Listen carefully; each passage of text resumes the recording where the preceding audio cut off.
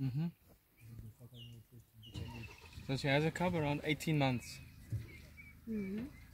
So it's odd that she's still calling for her because usually at that time, you need to come down here. You need to lie down. Yeah, Dylan, she's lying on the shedulu now, facing towards you. You want to maybe try that side. Dylan, Dylan.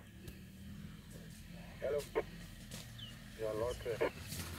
Ja, das kann äh, morgen. Äh, Alle, ja, das. Brauchst du noch wieder nicht.